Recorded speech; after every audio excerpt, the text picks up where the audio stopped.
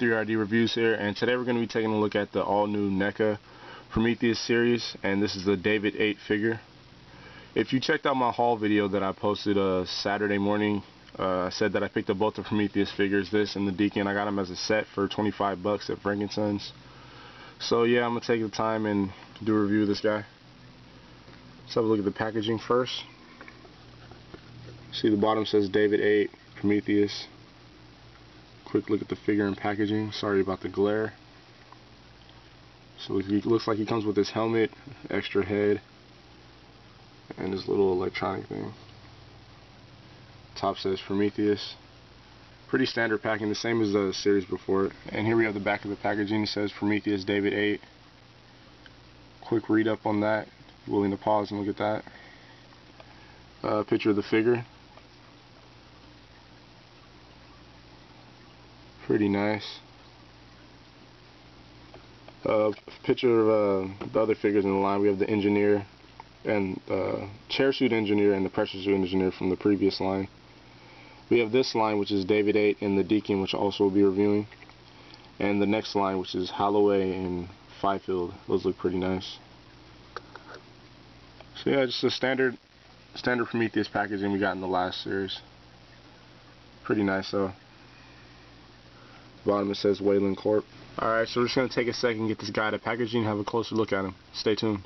And here we have David 8 out of packaging. So good look at the head sculpt. Looks pretty good. It resembles the actor that played the character. Look at some of David's armor. You see he has his, uh, his camera on the his left shoulder. We have his uh, badge on the chest. Here's this weird slant at his uh his abdomen area. I tried moving it around, but it just has this natural slant.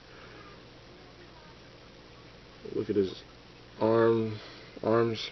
Look at his hands. They look pretty good. I like the colorization in these guys' uniforms, the blue, the blue and the black. Detail look at his belt. Some nice weathering in all of his armor, down to his uh, his leg area. Looks like he has pretty good articulation down to his boots and you see some of the accessories. His uh his helmet space helmet his alternate head which goes with the space helmet and his little uh, scanning device with the flashlight attached to the top of it.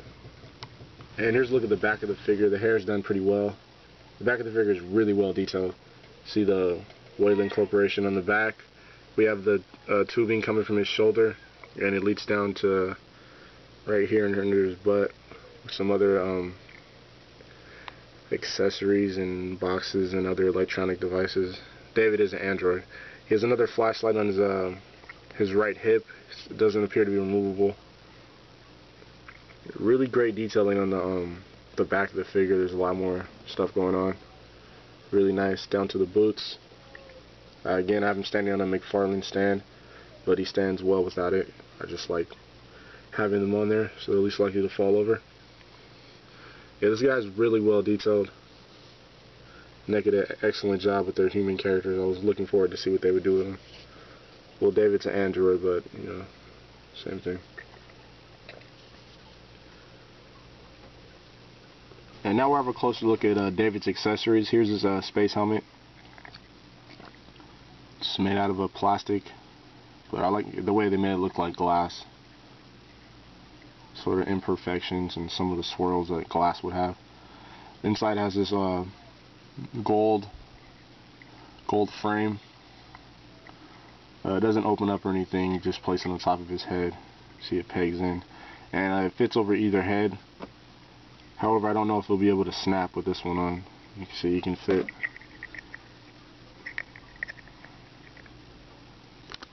it'll fit over the top but I think with this one it pretty much just sits it's really a weird shaped helmet. Here's a look at the alternate head. It has a David with the Weyland insignia on it.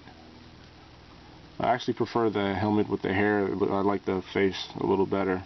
This one will definitely look better inside the helmet though, but I'm glad they gave us the alternate head. It's really nice. You can see it just pegs in there. I'll show you what it looks like on the figure in a second.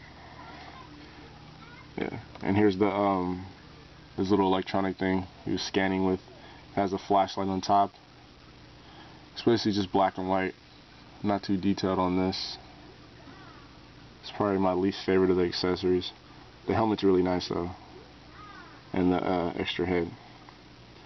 And that's pretty much it for the accessories on this guy. Just want to do a quick side-by-side -side comparison with the heads. I popped this one off, as you can see.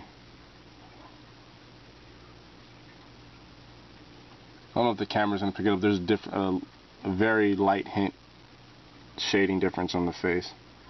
But not too bad. They both look pretty good. Let's go ahead and pop the helmeted version on.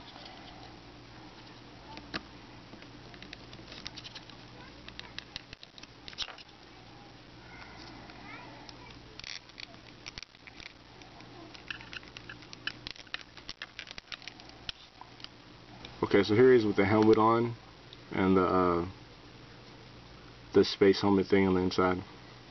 Looks pretty good. I like how the plastic warps his face like glass would do when you turn it. See that? Looks really good. And he's also holding this little uh, scanning accessory he comes with. He holds that in either hand. Okay, so as far as articulation in this guy, his head can rotate up and down, back and forth. Pretty good.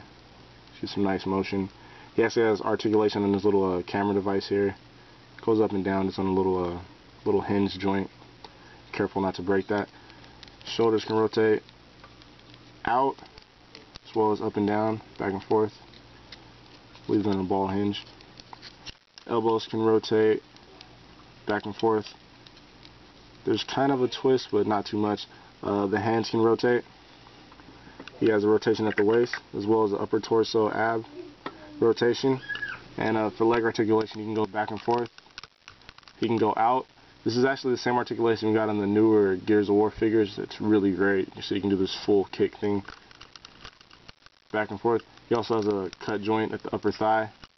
He can bend at the knee, double jointed knees, as well as rotate at the ankle, go back and forth. And there's an ankle pivot. It's really nice. Really great articulation on this guy. NECA did a fantastic job with that. And for a quick size comparison video, you see I have him standing next to his Series 2 counterpart, the Deacon figure, as well as the Series 1 uh, engineer in the chair suit. He's taller than Deacon and shorter than the engineer, which he should be, and um, I think these figures are really, really good scale with one another. If you haven't checked out the NECA Prometheus line, I advise you to. They're really nice. They came out really great. Uh, the Series 2 is amazing. I'm um, looking forward to what NECA is going to bring us in the future. Uh, be sure and check out my figure review of the Deacon and the Flight Suit Engineer. I just posted all these guys. These are really great. Um, he gets a very high recommendation. And this is uh, N3RD Reviews. Um, please like, rate, and subscribe, and stay tuned for more figure reviews. Thanks, guys.